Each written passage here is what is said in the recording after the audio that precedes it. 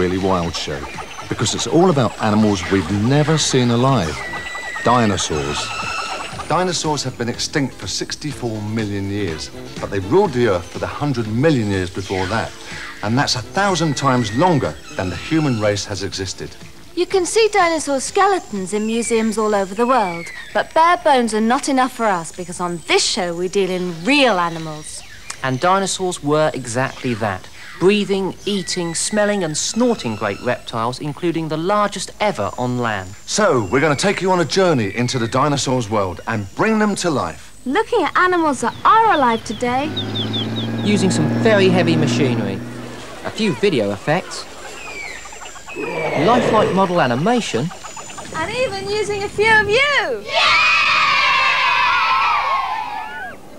It's an animal detective story that starts here, in the Smithsonian Institution in Washington. There are so many things that make up an animal. Size, shape, colour, movement, the noise it makes, what it eats, and how it looks after its young. But turning a skeleton like this into a real living animal takes a lot of detective work, and with fossils, the evidence is pretty thin. Dinosaurs came in all different shapes and sizes. In all, we know of over 400 different species, and they were all reptiles, like snakes and lizards. They were generally pretty big animals. For instance, the average dinosaur would be a lot bigger than me, and some, like this Diplodocus, were absolutely massive. At 10 tons, Diplodocus weighed much more than an elephant, with a neck and tail that made the body 30 metres long. Apatosaurus was even heavier. An adult weighed 30 tons and was four times taller than me. The biggest dinosaur we've uncovered was called a Brachiosaurus. It weighed 75 tons. And like all the sauropods, it had a long neck and tail.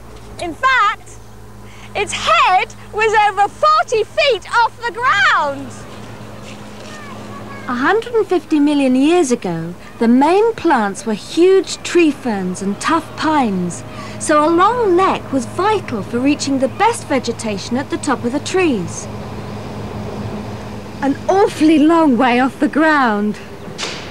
So, this is what the world would look like to a Brachiosaurus. And this is how a Brachiosaurus would look to the world. There's no animal on Earth built like this. It's twice the height of a giraffe and built like an elephant. And it's thought that these incredible animals lived in herds. But there were small dinosaurs too, and in this drawer is one of the smallest. It's called Compsognathus, and it's a dinosaur that's the size of a chicken. And this is what it probably looked like, a road runner. Its long legs and sharp claws are just like Compsognathus. It moves in the same way, with the tail for balance. But the dinosaur's tail had bones, not just feathers. So this is another dinosaur. That's 50,000 times smaller than the Brachiosaurus. So, how did the huge animals move around? This is the kind of tracks they left. And lots of different fossilized trackways have been found, left in the mud at the edges of lakes and rivers. Hi. The first thing you notice about this footprint is it's enormous. How long is it? One meter. One meter long and how wide? Eight centimeters. 80 centimeters wide. Well, that's huge. And when you look at the spacing between these footprints, you can see that the animal was walking. Back right, back left, front right, front left, and they're evenly spaced. It's thought that these animals were so heavy that they needed two of their four feet on the ground all the time, just holding up their weight. So all they can do is walk. This is what the foot of a 70-ton sauropod looked like. The toes are spread out into a soft, flat, round cushion. And you can see the toenails, the stubby toenails, here at the front. Elephants, like these African elephants, had the same problem as the dinosaurs had, and that is supporting weight. So they've got these long, thick pillars of legs. When elephants have to move fast, they can't trot or gallop. They have to keep their legs straight. So it's a quick march. Dinosaur tracks are narrow, which proves a very important but pretty boring thing. The dinosaurs stood with their legs directly underneath their body. Now, birds do it, we do it, but modern reptiles don't. This leopard gecko of Gemma's here has its legs sprawling out to the sides, and that makes it a very inefficient mover. Okay, Gemma, just put it down and we'll see how it moves. see? Look, it just scuttles along.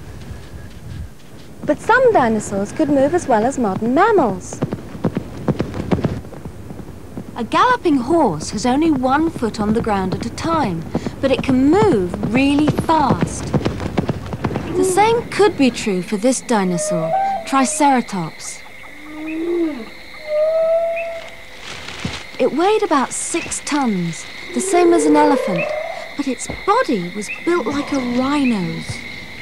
And they can gallop at 40 kilometers an hour. These fossilised dinosaur tracks are different again. Made by a large bipedal dinosaur, one that stood upright, like Compsognathus, and walked on two legs. And these feet are exactly the same, with three toes pointing out at an angle. So there's every chance that these rheas, birds from South America, are almost exactly the same as small bipedal dinosaurs. So there are modern-day dinosaurs, like this flightless cassowary from Australia, reckoned to be the world's most dangerous bird. So, dinosaurs were the first animals ever to stand upright. But what advantage was that? Well, it means they could reach for food off the ground, their eyes were higher so they could spot predators and prey, and they were very agile. Just like us humans! Another great advantage of walking on two legs that's been vital to us humans is that we don't use our arms for walking on, and that's enabled us to develop these hands. Dinosaur hands were simple, but good for grasping.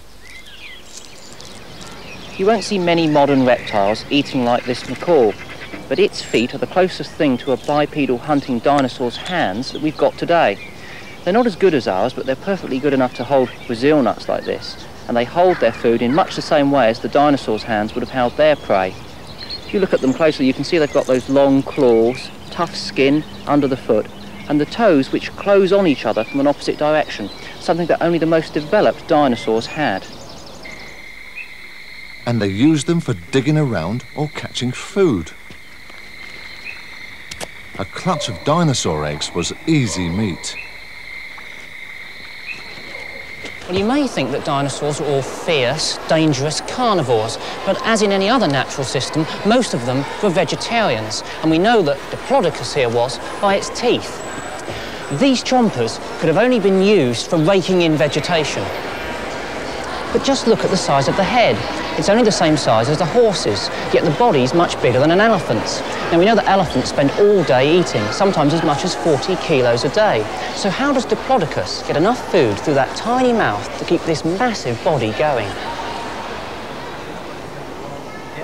Well, at the end of the neck was a huge muscular stomach, full of stones like these, found inside a dinosaur and worn smooth by grinding vegetation. Sparrows and other seed-eating birds swallow grit to do exactly the same thing as these huge dinosaurs.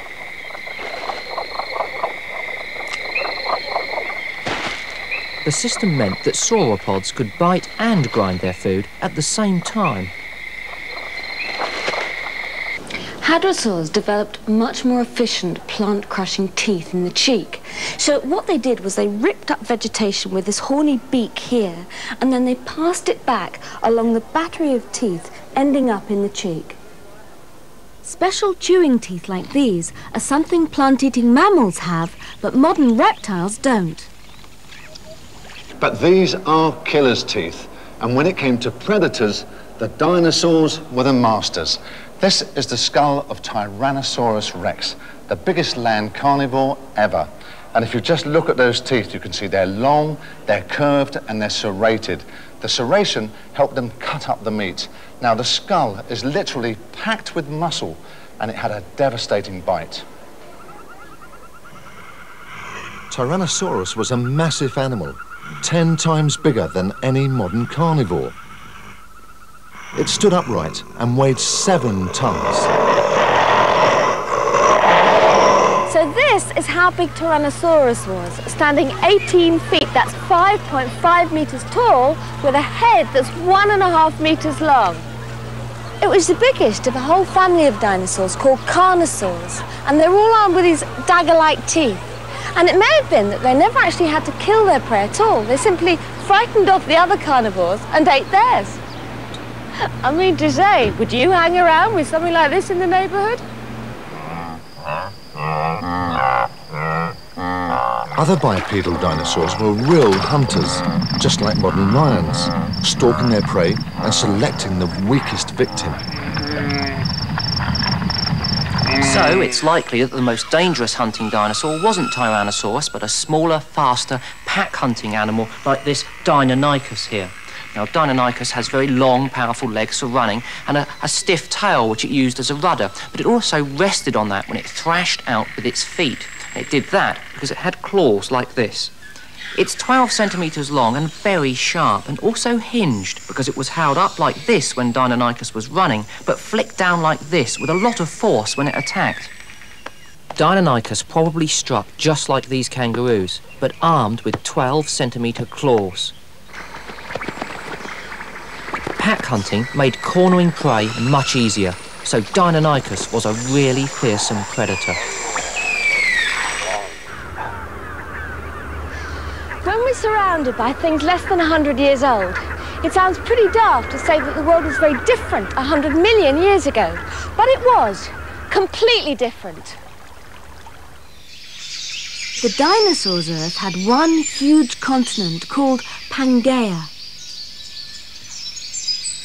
That brought warm, stable weather and lush vegetation. And in the Jurassic period, there were no birds and only tiny, insignificant mammals. But in the skies and the seas, there were reptiles. Plesiosaurs probably swam like turtles do now. Hunted like seals and sea lions.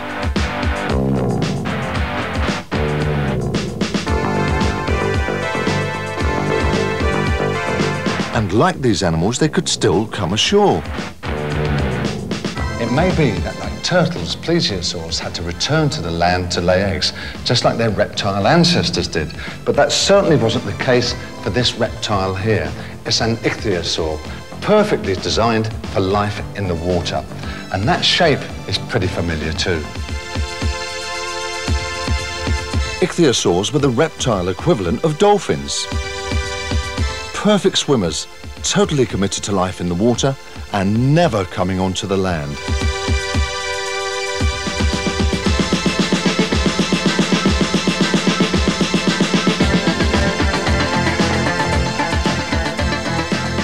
And here's the proof, this extraordinary fossil that shows an ichthyosaur that seems to have died while giving birth to live young under the water. And that's exactly what dolphins and killer whales do. There were flying reptiles too. This is Dimorphodon from the early Jurassic. Its arms are wings, covered in a fine membrane, just like a bat's. It was an early pterosaur. The most important group were the pteranodons, and they flew about during the Jurassic period. Now, the smallest one was just sparrow size, but the largest had a seven metre wingspan. Enormous. Both the wing of the microlight and the pteranodon have got one central strut running down here. Now, in this case, it's an aluminium tube. In the case of the animal, it's a finger. Also, this tough plastic covering compares very favourably with the taut skin on the animal's wing. And to steer it, all you do is shift the weight and change the wing angle.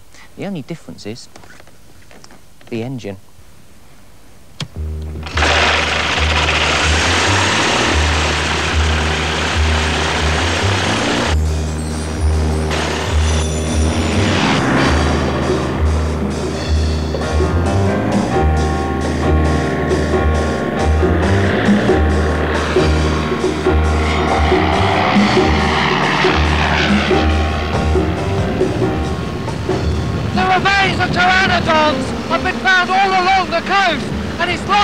They use the cliff, just like albatrosses.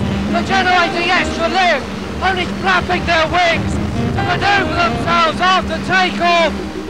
In this microlight, we've got a very much pterosaur wing, long and thin. It generates a lot of lift. We also need the engine to help us along a bit. But probably the last thing a pterosaur needed was an engine.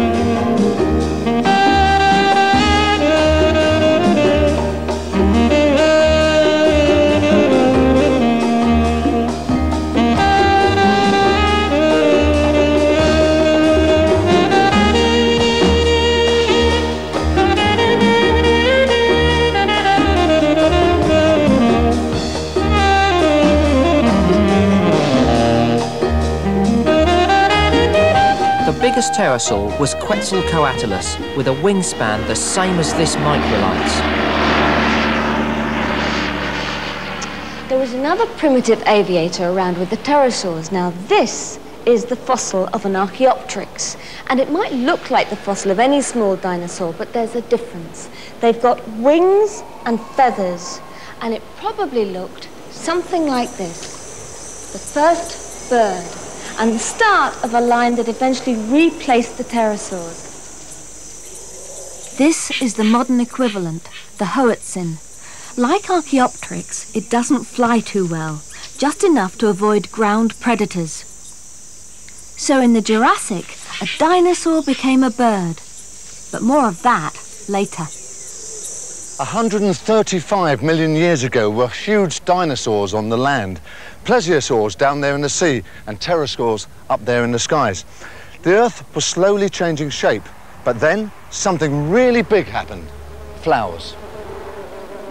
Flowers are complex plants that use animals for pollination and for spreading their seeds.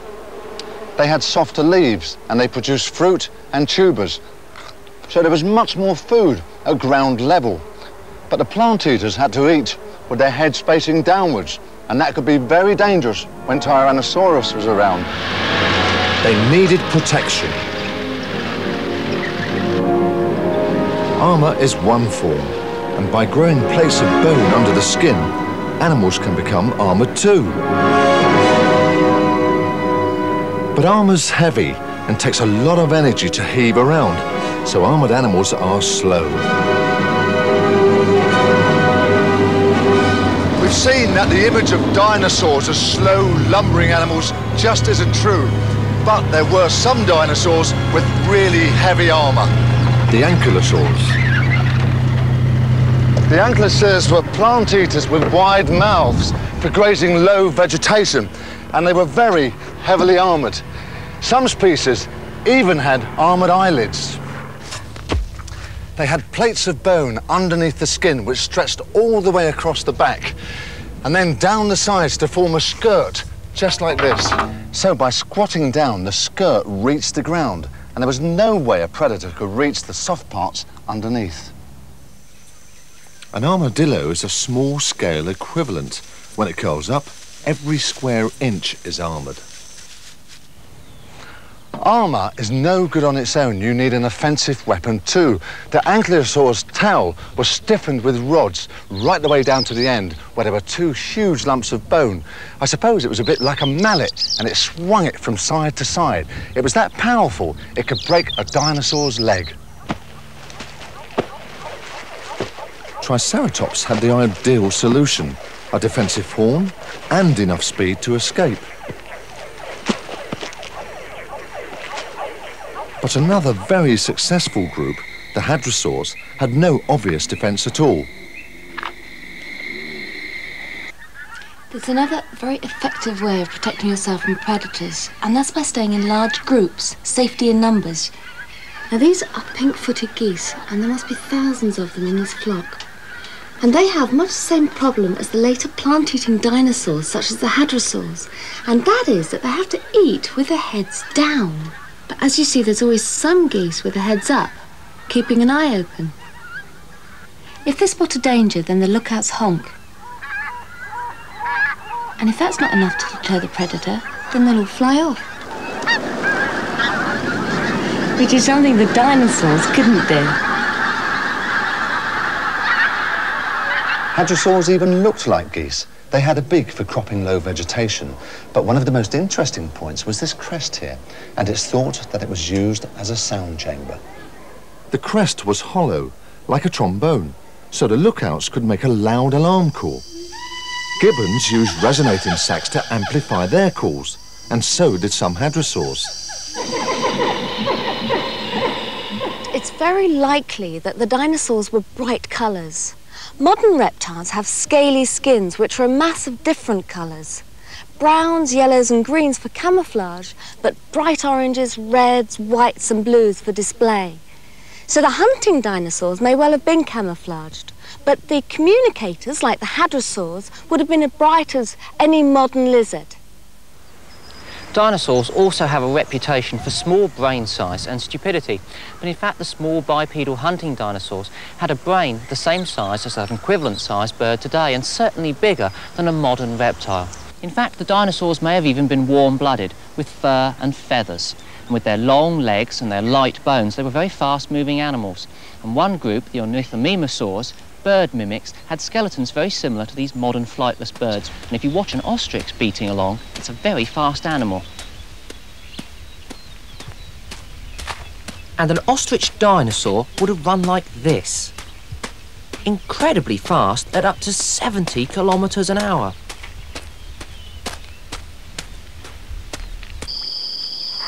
What about family life? Well, most reptiles leave their eggs in the sand to hatch.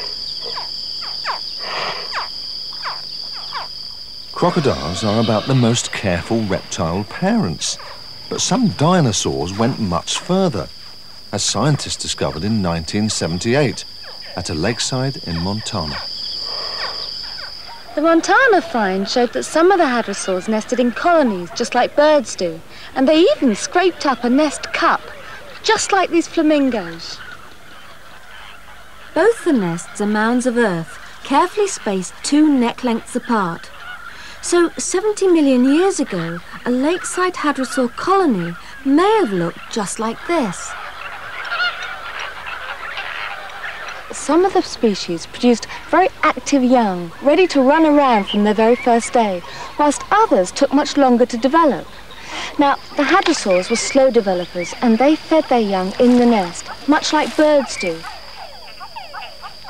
Dinosaurs were very sophisticated animals, more like birds and mammals than reptiles. But 64 million years ago, they all became extinct. There may have been a huge meteorite impact or a massive volcanic activity. It's almost certain that dust blotted out the sun, and that killed off 70% of life on Earth.